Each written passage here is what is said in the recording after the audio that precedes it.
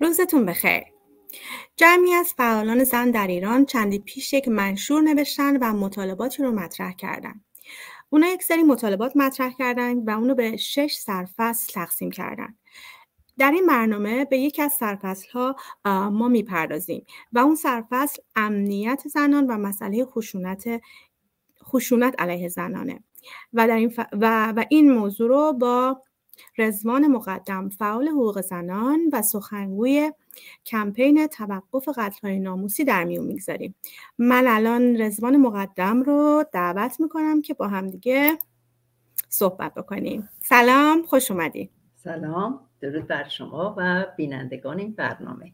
در خدمتتون هستم. مرسی. خانم مقدم به نظر شما در حال حاضر در ایران موارد عمده ای که خشونت جنسی به زنان اعمال میشه و و به زنان و جامعه رنگی کمانی اعمال میشه چه هستند؟ سوالتون خیلی سوال سوالی است که پاسخهای خیلی جامعی رو میطلبه.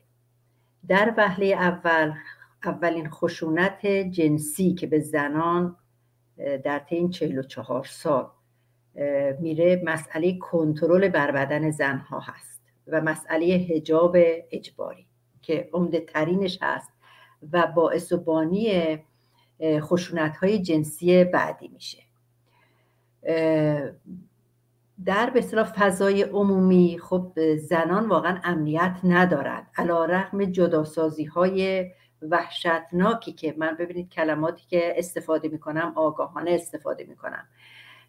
علا رقم جداسازی های وحشتناکی که حکومت جمهوری اسلامی از ابتدای انقلاب تا بکنون از سال 50 تا بکنون اعمال کرده که به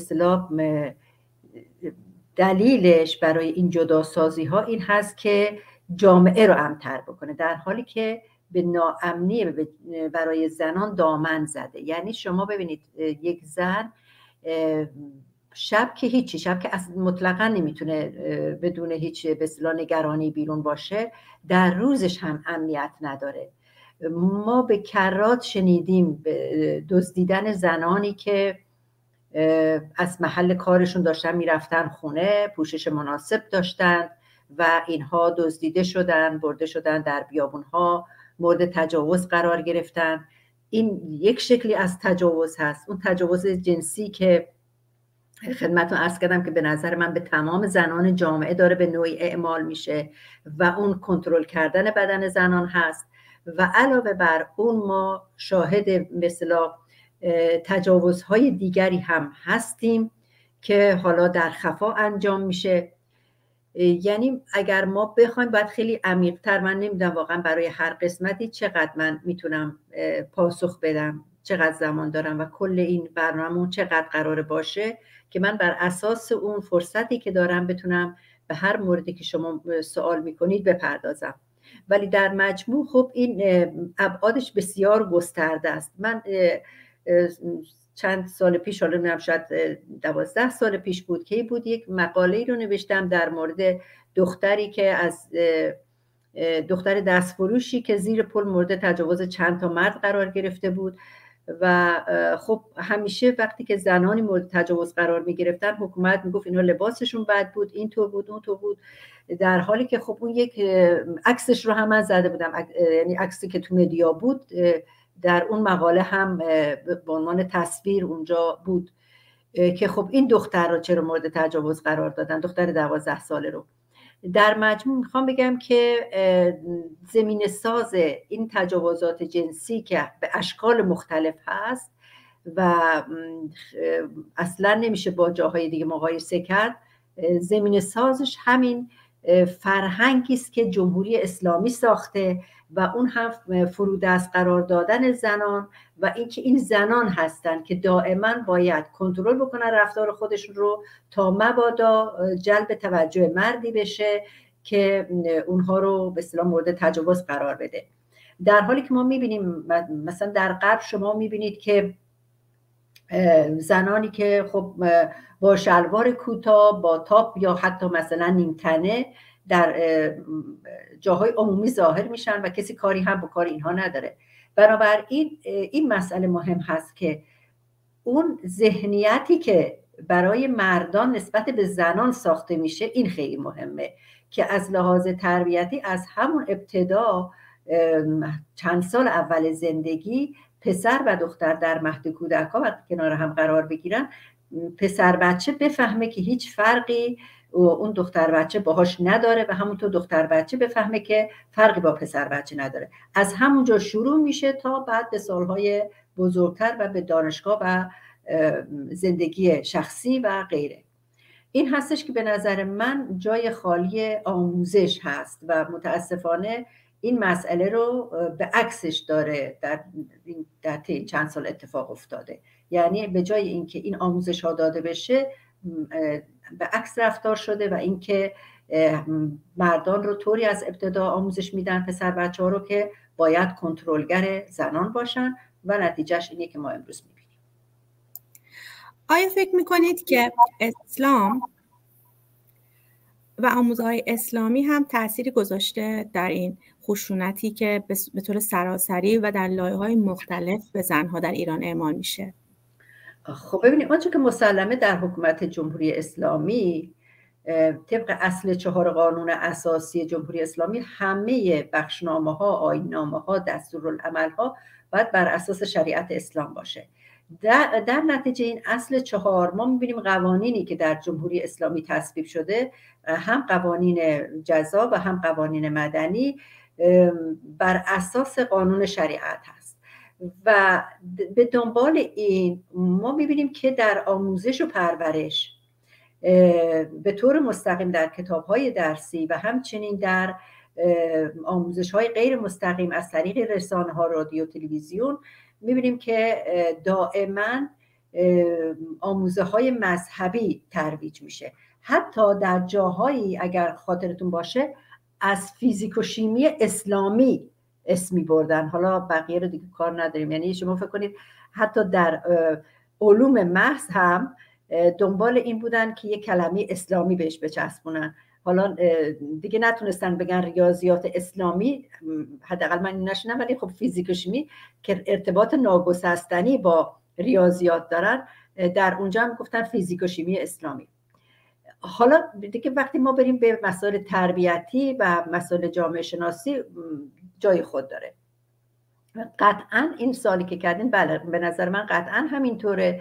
به خاطر که خود مسئله هجاب حالا بعضی ها میگن که هجاب اسلامی نیست ولی حالا ما کار نداریم به اینکه هست یا نیست.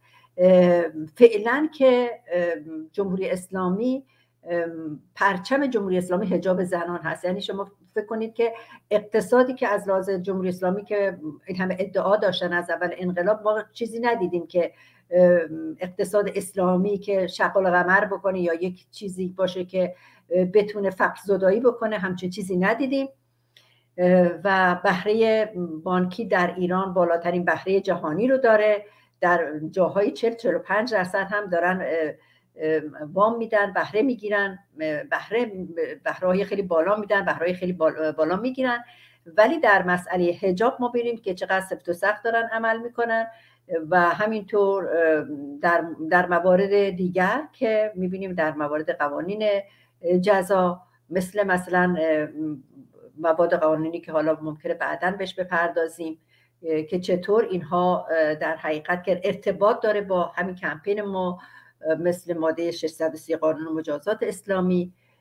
بله قطعا سوال شما اگه بخوام کوتاه بهش پاسخ بدم بله آموزه های اسلامی بسیار در بروز این خشونت و تشدید خشونت مؤثر بوده و این نه فقط در اسلام بلکه در ادیان اصولا شما یک دین به من نشون بدید که در اون دین زن رو مانند مرد یعنی اگه بخوایم به صورت هم binary زن و مرد به اسلام نگاه کنیم چون در اون زمان هایی که ادیان اومدن مسئله به نام به اصطلاح LGBTQ نبوده و فقط به binary زن و مرد توجه می شده اینه که بله قطعا همینطور هست. برگردیم به منشور. در همین منشور که داریم راجبش حرف می‌زنیم یه سری مطرح شده. من سرتیترش رو سه تا از مطالبات رو می‌خونم با که با هم دیگه بشنویم دوباره مرور کنیم. بعد شما راجع به مطالبات اگه ممکنه صحبت کنیم. اولیش اینه که جرمنگاری هر شکلی از آزار و اذیت جنسی تجاوز و خشونت علیه زنان مردان و جامعه رنگین کمانی و دومی حمایت مضاعف از زنان و جامعه رنگین کمانی در برابر خشونت جنسی به شکل گسترده و به خصوص در مناطق محروم. و بعدی حمایت قانونی و درمانی از کارگران جنسی و جرمنگاری خرید سکس و هر شکلی از بدرفتاری با کارگران جنسی. شما نظرتون راجع به این سه مطالبه که چند زیر مطالبه هم داره زیر شاخه چیه و به نظرتون آیا جامو کافی هستن؟ نقدی بهشون وارد می‌دونید یا نه؟ ببینید در رابطه با کل این مطالباتی که نوشته شده به نظر من بسیار جای کار داره.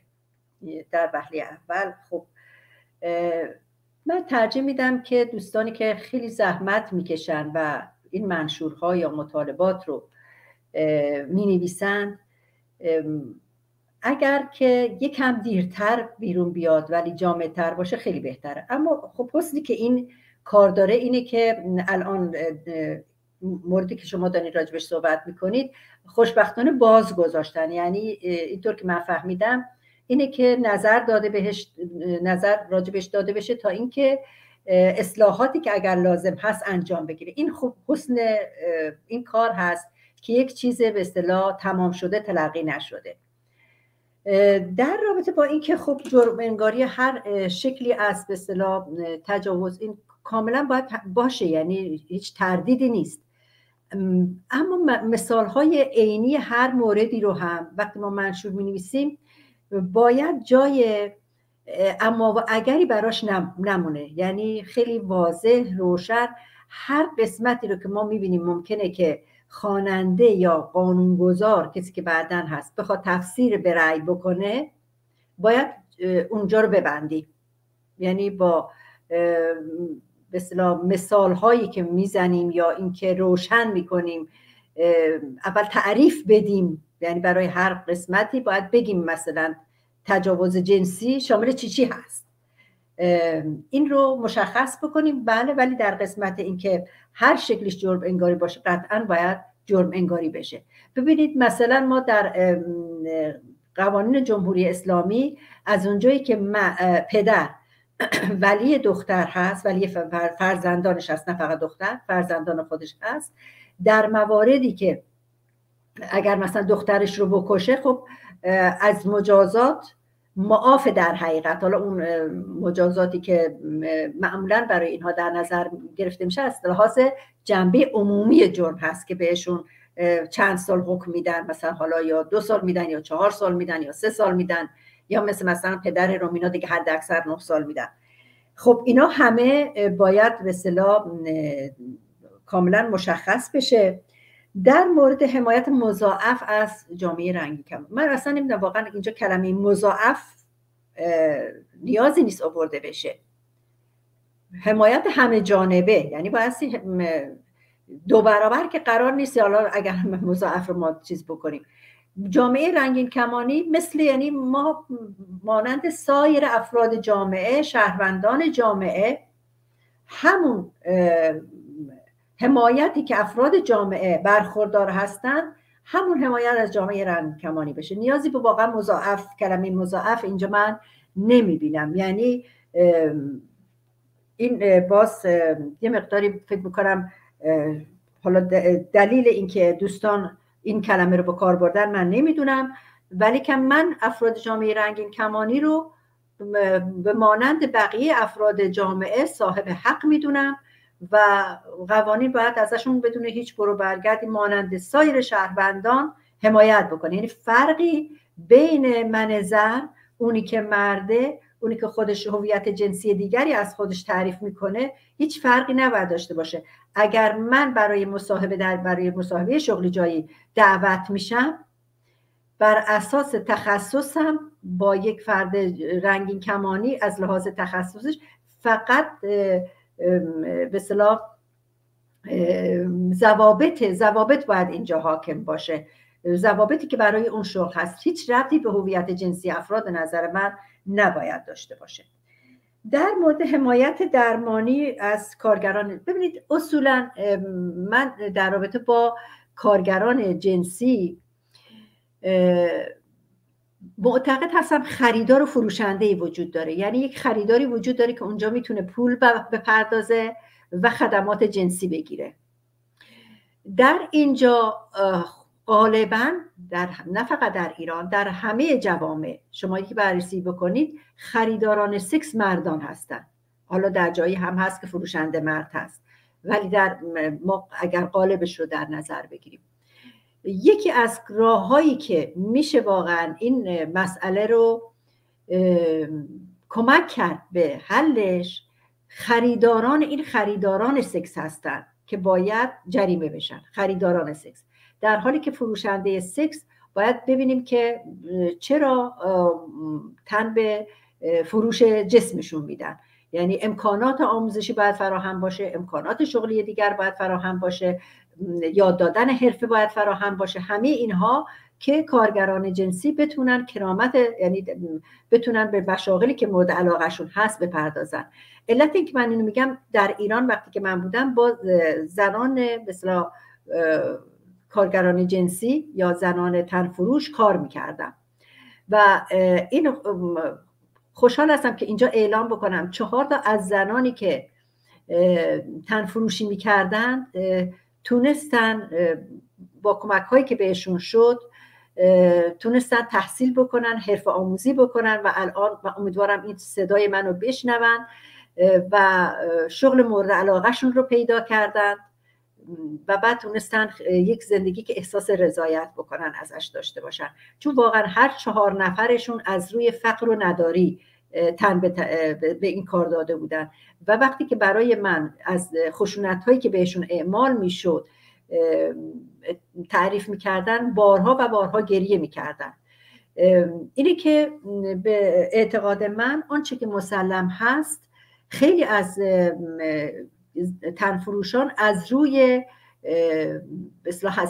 نتیجه فقر اقتصادی است که تنفروشی می‌کنن. و واقعا این چهار موردی که من خدمتون عرض کردم برای تأمین ابتدایی ترین نیازهای اقتصادیشون بود. که الان خوشحالم که بگم یکیشون یک لیسانس حسابداری داره یکیشون نقشه کشی رو یاد گرفت یکیشون آرایشگر شد و یکیش دیگرشون هم در یک کارگاه تولیدی خیاطی مشغول به کار شد. و درآمدهای خوبی هم دارن. گاهگاهی هم من همچنان باشون در ارتباط هستم. به همین دلیل هست که اعتقاد من اولین چیزی که باید در این مورد باشه باید تأکید بشه در این منشور که در وهله اول اینها باید توان افزایی بشن توانمندسازی بشن حرف آموزی بشن قبل از همه اینها. بعد خب دیگه حالا بقیه ماجراهاش که در جاهایی که دیگه اشتراک ناپذیر باشه این مسائلی میشه که در این مطالبات اومده. ولی قبل از اون هر انسانی حق داره که از امکاناتی که در اون جامعه هست برخوردار بشه. امکانات آموزشی امکانات اینکه بتونه یک زندگی رو داشته باشه که از اون کرامت انسانی طبق اعلامیه جهانی حقوق بشر برخوردار بشه. شما اشاره کردین به اینکه حمایت مضاعف از جامعه رنگی کمانی لازم نیست اگه که حقوق یکسان و برابر باشه. این یه بحثی است بین فمینیست ها که خب بخشی برخی معتقدن که لازمه که تبعیض مثبت برای زنها باشه. نظر شما در این باره چیه؟ ببینید مسئله تبعیض مثبت با حمایت مضاعف این دو تا مقوله متفاوت هست. در مورد تبعیض مثبت که خب البته من باز با این کلمش همچنان خودم مشکل دارم برای اینکه اعتقاد دارم. به خصوص در جامعه امروز ایران ما زنان متخصص زنان صاحب نظر زنان تحلیلگر در همه شاخه ها یعنی شما الان مثلا به من بگید که در زمینه پزشکی ما زنان شایسته وزارت نداریم؟ من میگم داریم. در اقتصاد در علوم سیاسی در هر رشته که شما فکر کنید ما هم زن شایسته داریم برای وزارت هم برای صدارت هم برای ریاست جمهوری و هم برای نمایندگی مجلس و همه چیز. برای اینکه به خصوص در بعد از انقلاب به دلیل فشارهای واقعا بیش از مضاعف به زنان. یعنی هر فشاری که به مردان اومد از لحاظ حالا در حقیقت محدودیت های سیاسی اگر به مردان جامعه می‌شد ولی به زنان محدودیت های اجتماعی فردی خصوصی همه جوره شد. و به حاشیه رنده شدن.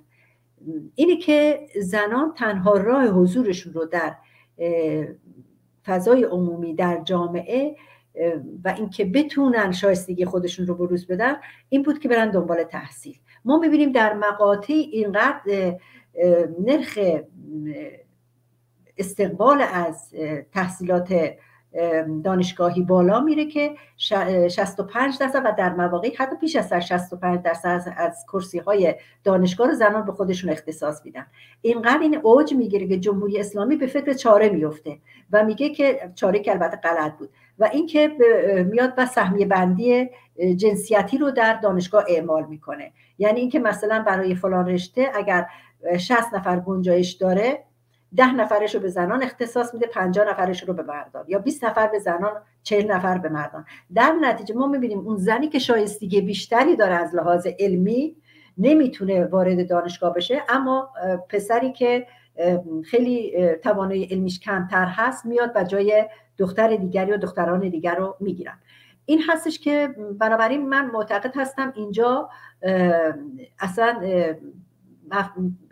عملا این تبعیض مثبت نیست. یعنی اینکه اگر فرض کنیم برای نمایندگی مجلس میان یک تعدادی زن کاندید میشن مشکل ما می‌دونید چیه؟ مشکل ما اینه که هنوز جامعه اون اعتمادی رو که باید به زنان داشته باشه و قبول داشته باشه زنان رو اون رو اون, با اون باور نریسته مشکل اینه. مشکل از عدم تخصص زنان نیست. مشکل از عدم باورمندی مردان به زنان هست. جامعه به زنان حتی بعضی از زنان خودشون وقتی که می‌خوان برن پیش پزشک میگن که ما بریم پیش پزشک مرد چون بهتر می‌دونه. در حالی که این اینا همه ناشی از اون کلیشه های جنسیتی است که در طول زندگی که در ابتدای صحبتم عرض کردم خدمتون که باعث و بانی به سری از اجحافاتی میشه یا هم تجاوزاتی که به زنان میشه هم کلیشه های جنسیتی است که آموزش داده میشه. این هم جزو اون کلیشه های جنسیتی است. بنابراین در مورد رنگین کمانی هم همین صدق می‌کنه. یعنی ما جامعه باید بپر وقتی جامعه ما در این راستا بریم که آگاهی رسانی بکنیم دیگه ما نیازی نداریم که از این کلمات به نظر من استفاده بکنیم بلکه باید بگیم از حقوق برابر برخوردار بشن از وقتی میگیم از حقوق برابر برخوردار بشن در اونجا دیگه که به این بحثا مطرح نیست. ما میگیم که در در مجلس باید 50 درصد زن و 50 درصد مرد باشن. این اصلا تبعیض مثبت نیست. این این لفظ برابری است. که حالا البته در مجلس وقتی گفته میشه 50 درصد مرد 50 درصد زن این به اون معنا نیست که جامعه رنگین کمانی در مجلس نباشن. جامعه رنگین کمانی هم حتما در مجالسی که حالا در آینده تشکیل خواهد شد چون در سیستم فعلی که متاسفانه اصلا این مقولات رو نمی اصلا رو درک نمی کنند که بخوان بپذیرن. ولی در سیستم های آینده که حالا برقرار خواهد شد قطعا باید جامعه رنگین کمانی حق داشته باشه به وزارت برسه به نمایندگی برسه. اصلا مسئله به کنکاش توی هویت جنسی افراد نباید بشه. این یک مورد مورد بعدی که در مثلا سهمیه هست. که ما همیشه باید به نظر من مسئله 50 درصد رو بگیم. اینجا دیگه مسئله تبعیض مطرح نیست بلکه یک حقه و این حق باید ایفا بشه. این اعتقاد من هست در مورد در حقیقت حقی که هر فردی در, در جامعه باید برخوردار بشه چه زن و چه مرد و چه جامعه رنگی کمانی مرسی. حالا این همه مطالبه خوب که ما خواستارشیم واقعا تو چه ساختار سیاسی و اقتصادی در, در فردای ایران می‌تونه اتفاق بیفته و می‌تونه اصلا اجرایی بشه به نظر شما؟ در ولی ببینید در جوامعی که حکومت های توتالیتر تمامیت خواه حاکم هستن حکومت های استبدادی حاکم هستن مسلما این یک همون در حد آمال آرزو باقی میمونه. قطعا یک جامعه دموکرات لازم هست جامعه ای که به انسان به عنوان انسان نگاه بکنه. و اینکه هر فردی از جامعه حق داشته باشه که در به اصطلاح کلمه سرنوشت رو نمی‌خوام به کار ببرم توی چیز از قبل تعیین شده است بلکه در زندگی خودش در انتخاب اینکه چه شکلی زندگی بکنه بتونه نقش داشته باشه بتونه در قانونگذاری در تصمیم گیری تصمیم سازی بتونه نقش داشته باشه. یک در یک چنین فضایی هست که و در ضمن هیچ به دین رسمی نباید اونجا مطرح بشه. یعنی در حکومتی که دین رسمی تعیین می‌کنن میگن دین رسمی فلان کشور این باشه در قانون اساسیش. در اونجا شما با همین کلمه ممکنه ظاهرش برای شما بگید خب حالا مثلا گفتن شیعه. وقتی شما اینو میگید یعنی اینکه بقیه رو دیگه حذف کردید. بنابراین در وهله اول حالا اگر نگیم لایسیته حداقل سکولاریسم اعتقاد داشته باشیم. البته این هم من بگم که صرفا سکولار بودن دلیل بر این نمیشه که دیکتاتوری نباشه. یعنی همه اینها باید بهش توجه بکنیم. یک به دید جامعی نسبت به قضیه داشت حکومت سکولاری که دموکرات باشه نه حکومت سکولاری که دیکتاتور باشه. حکومت سکولاری که, که دموکرات باشه و به تمام افراد جامعه صرف نظر از هویت جنسیشون جنسیتیشون صرف نظر از باورهای به مذهبیشون بتونه این حق و امکان رو بده که بتونن استعدادهای خودشون رو بروز بدن. بر اساس تخصصی که دارن از تخصصشون استفاده بشه و به مشاغلی به اونها سپرده بشه که متخصص اون کار هستن. ما در جمهوری اسلامی می‌بینیم که مثلا امروز یکی وزیر مثلا آموزش پرورش هست از یک خطایی می‌کنه خطا یا خیانت یا هر چیز بعد از وزارت آموزش پرورش برش میدارن میزنش وزیر اقتصاد می‌کنن. پس فردا در اونجا هم یه گندی بالا میاره میذارنش بس فردا میکننش وزیر مثلا کشور می‌کنن. خلاصه اینکه حالا مثال می‌زنم چون این اتفاقات به کرات افتاده.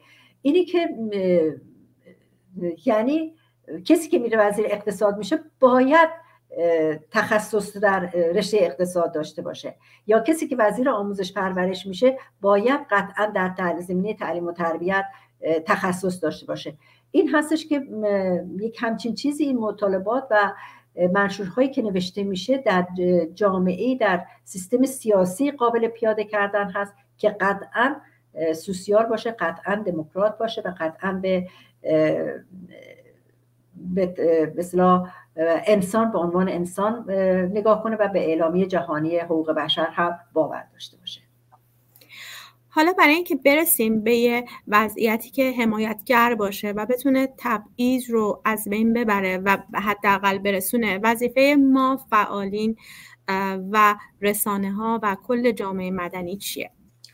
ببینید در وهله اول به نظر من داشتن تفکر انتقادی یعنی اینکه هر کجا ما می‌بینیم داره اشکالی اشکالی وجود داره. نقضی وجود داره باید نقد بکنیم. بدون هیچ اغمازی بدون هیچ چشپوشی و این می‌تونه یعنی نقش رسانه ها نقش افراد روشنفکر جامعه نقش پیشگامان این هست که حل نشن در جریانات و مانیتور بکنن جریانات رو. اونجایی که می‌بینن یک جریانی داره به انحراف کشیده میشه به هر بهانه ای باید بیستن و اون حرکت رو نقد بکنن.